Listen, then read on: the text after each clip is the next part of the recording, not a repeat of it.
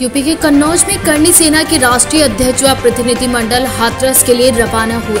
इस दौरान हाथरस जाते समय सौरिक कट पर क्षत्रिय करनी सेना कन्नौज टीम ने राष्ट्रीय अध्यक्ष व प्रदेश कार्यकारिणी का फूल मालाओं से स्वागत किया। इसके साथ ही उन्होंने कहा कि हाथरस में क्षत्रिय परिवार के साथ हो रहे उत्पीड़न को लेकर करनी सेना क्षत्रिय पीड़ित परिवार से मुलाकात करेगी और उनका हालचाल जानेगी। इस दौरान नागेंद्र सिंह, अभिषेक ठाकुर, आशीष राठौर, शेखर ठाकुर राम प्रताप सिंह व करनी सेना के सैनिक मौजूद रहे।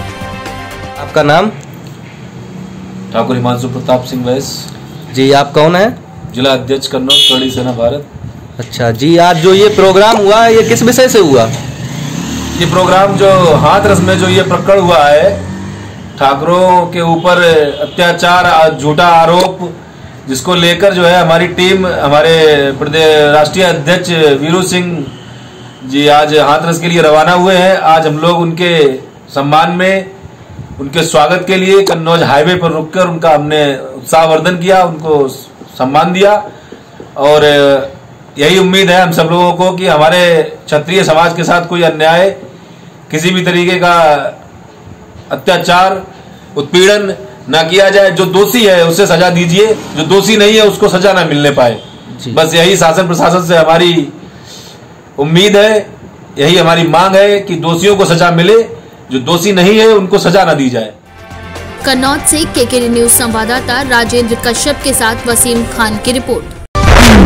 सुल्तानपुर में किसानों के मसीहा कहे जाने वाले स्वर्गीय महेंद्र सिंह टिकैत के जन्मदिन को भारतीय किसान यूनियन, अराजनैतिक दल ने हर साल की तरह इस साल भी किसान जागृति दिवस के रूप में मनाया। स्वर्गीय महेंद्र सिंह टिकैत की आत्मा की शांति के लिए पूर्व विधि विधान से हवन पूजन भी किया गया। इस मौके पर जिला अध्यक्ष वीरेंद्र कुमार सिंह जिला महासचिव मुरली यादव कर्मराज द्विवेदी उदय भान सिंह प्रदेश कार्यकारिणी सदस्य राम विशाल मौर्य के साथ कई लोग मौजूद रहे।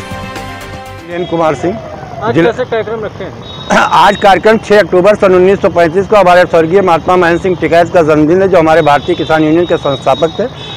आज उन्हीं के जन्मदिन के उपलक्ष्य में हम किसान जागृति दिवस के रूप में मनाते हैं। क्या ये पूरे प्रदेश का ये जी हाँ जी हाँ ये पूरे प्रदेश का कार्यक्रम है। सुल्तानपुर से केकेडी न्यूज़ संवाददाता आशुतोष श्रीवास्तव की रिपोर्ट।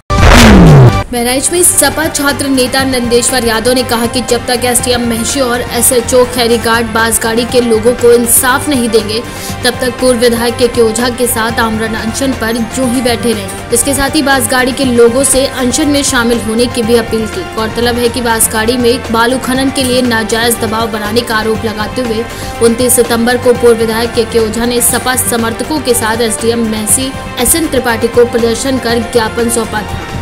और अवैध खनन पर भी रोक लगाने की बात कही थी जिसको लेकर बासगढ़ी के लोगों ने कहा कि जब तक इंसाफ नहीं मिलता तब तक विधायक के साथ आमरण अनशन पर यूँ ही बैठे रहेंगे कहाँ रहते हैं आप? बांसगढ़ी। लोग इकट्ठा क्या मामला क्या है? मामला है बारू खनान का सर। क्या है यहाँ उनका खनान है मांझा में खोदना चाहते हैं बांसगढ़ी में जी सर। हम लोग ज़बरदस्ती हमारे भूमि में। हमारी जो खती ज़मीन है उसमें खोदना चाहिए। तो बता रहे हैं और उनका नंबर सर है मांझा में। अच्छा। आठ नंबर।